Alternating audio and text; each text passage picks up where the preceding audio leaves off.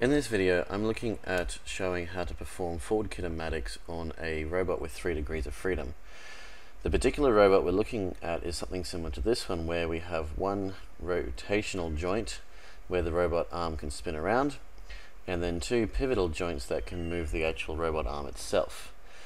Forward kinematics is the mathematics of being able to find where, given those three initial conditions of where these angles sit, so this, the angle of rotation, the angle of elevating this part of the arm, and the angle of rotating that part of the arm, gets the end point, which has been cut off in this diagram, where it's located in three-dimensional space.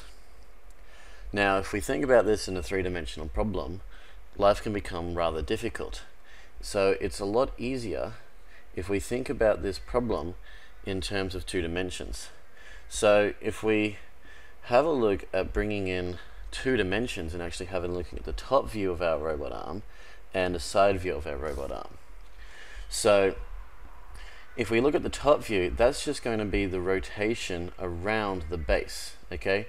So the theta 1 that I've got here matches this theta 1 here. That's the rotation of the robot arm itself as it revolves around the base.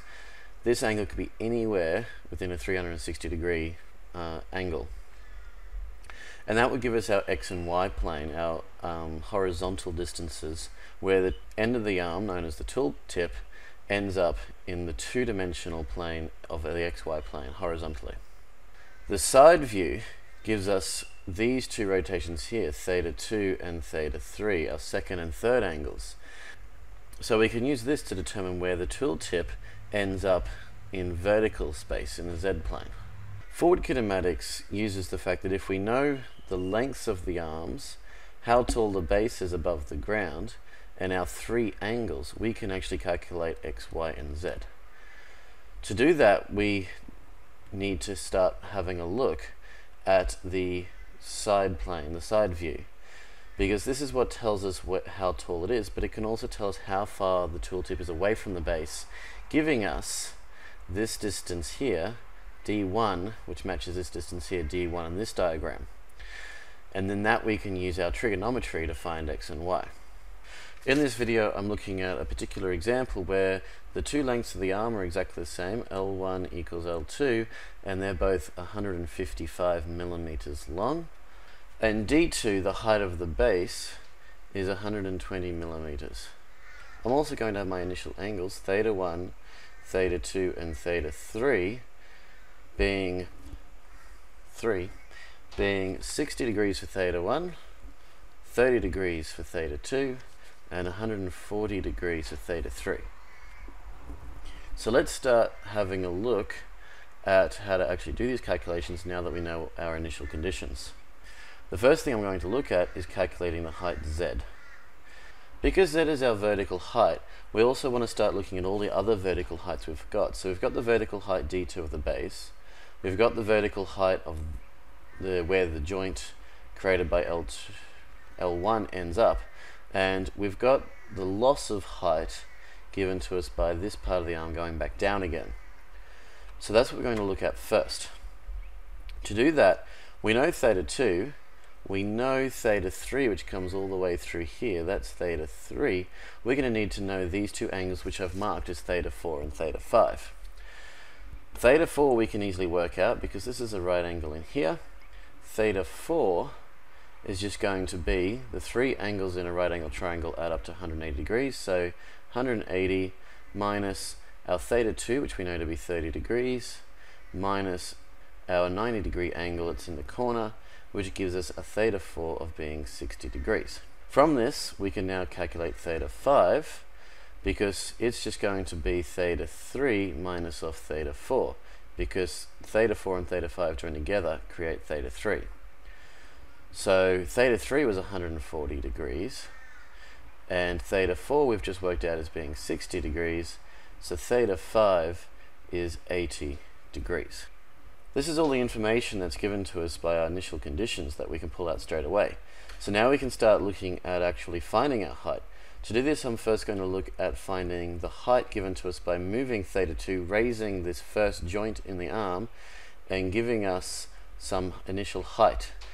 So that's going to be that triangle there. So I'm going to redraw it out and we'll have a look at what we know about this triangle. We know it's a right angle.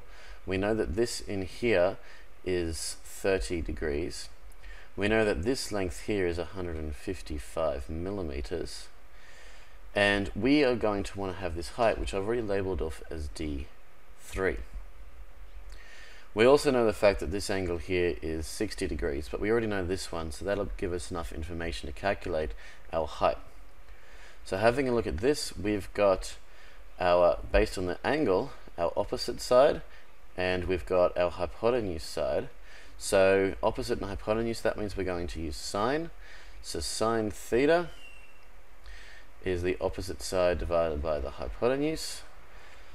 We can then put in our information. Sine 30 is our D3, which we're trying to find, divided by our hypotenuse of 155 millimeters. Multiplying that 155 up over to here, we have 155 times sine 30 it will give us D3. Putting that into our calculator, we have that D3 comes out as 77.5 millimeters. So now we've got some initial height that we know. We now need to work out how much we've lost by pivoting this next joint down. So if we come over and have a look at this triangle, which is looking at that joint, we can draw it out and put in the information we know about it. So we know that this side is 155 millimeters. We know it's a right angle. And we've worked out theta 5, which was this angle up in the corner here, to be 80 degrees. And because we're trying to find out how much we're losing in height, we're going to find out this distance here. Because I've already got a D3, D4, and D5 labeled, I'm going to label this D6 just so I can call it something. Going through that calculation, we can work out the fact that based on this angle, this is now our adjacent side, this is our hypotenuse, so we're going to use the cos ratio. Cos theta is the opposite over the hypotenuse. Put in our information, cos of 80 degrees is our adjacent side, d6, which we don't know, divided by our hypotenuse of 155 degrees multiplying that up this side so we get d6 all on its own 155 times cos 80 will give us d6 putting in d6 into our calculator we get 26.92 millimeters in height that we're losing by rotating this arm down a little bit. Now we've got everything we need to know about our height wise to find z because we've got our d3, we've got our little d6 that we're losing, and we've also got d2 coming up here. So now we can find z because it's just going to be um, our d2 adding on our d3 and then minusing off our d6 because we've lost some height. So we've gained height, gained height, lost a little bit. So we've got plus and we've got a minus down the end of D6. Putting this information in, we're going to have D2 was 120 millimeters. We're going to add on D3 of 77.5 millimeters, and we're going to subtract off D6 of 26.92 millimeters, giving us a vertical height of 154.4 2 millimeters. So now we have worked out how tall the tool tip is above the ground, how high it is above the ground. All we need to do now is work out x and y. Now I said before, to work out x and y, we need to know how far the tool tip has ended away from the base. To do this, we need to know what I called d1 earlier, which down here in this diagram is this distance of the arm of the tooltip from the base, which is exactly what we want. That's why I've called it D1 up in this diagram up here, because it lines up with this diagram down here.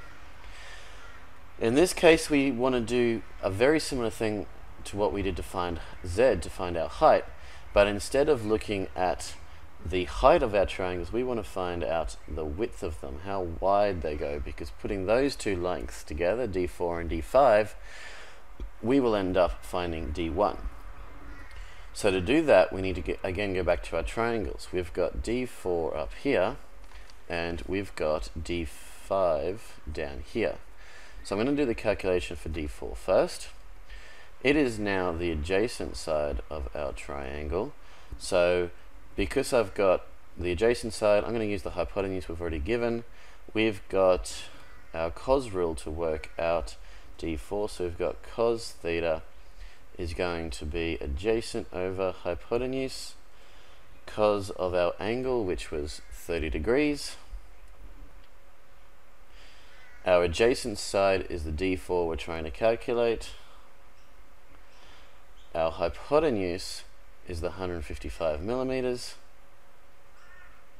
Multiplying that 155 up, so we get d4 on its own.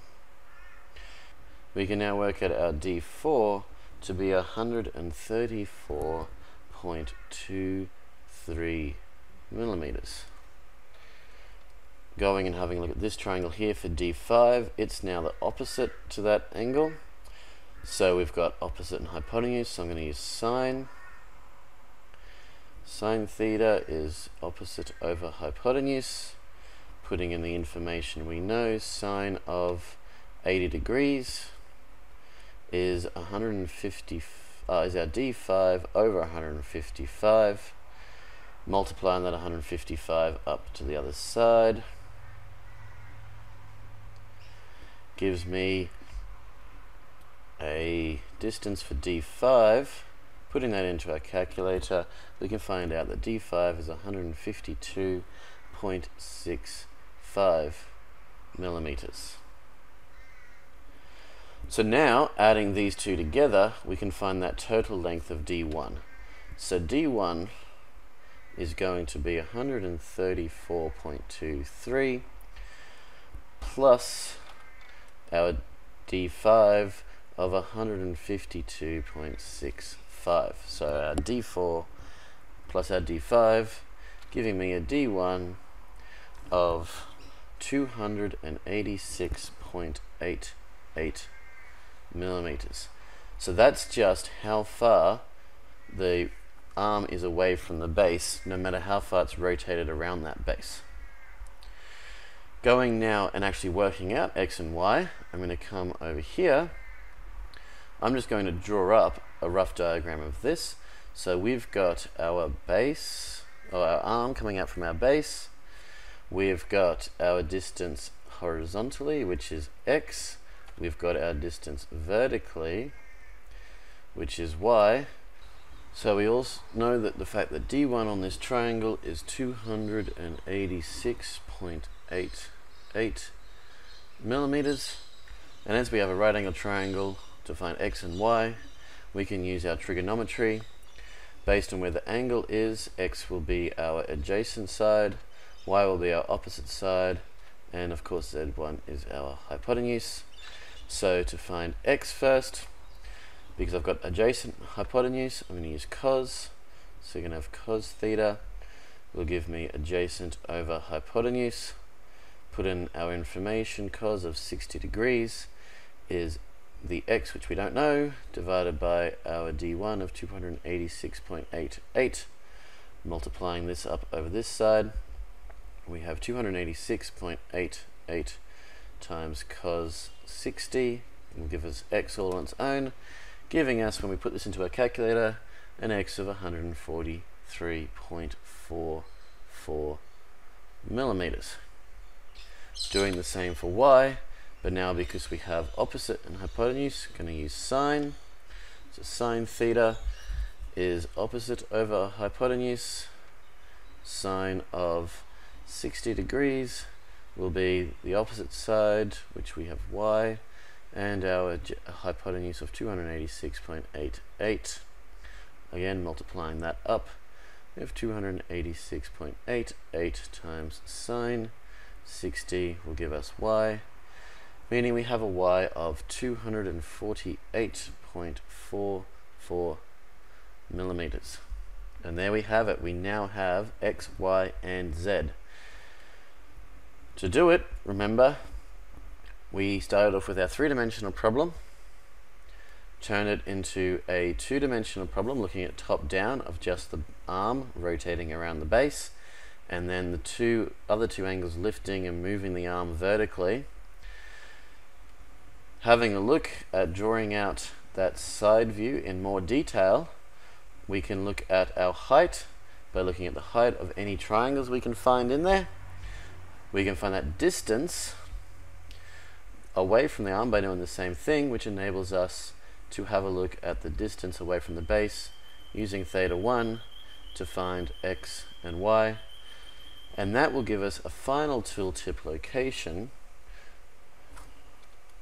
So final tooltip location if we were going to write that in an x, y, z coordinate it would give us an x of 143.44 a y of 200 and 40, uh, 248.44 and a Z of 154.42 and that would be one way of writing it as a three-dimensional coordinate if we were caring about our actual location in a three-dimensional coordinate space which is quite a common thing to do when performing forward kinematics.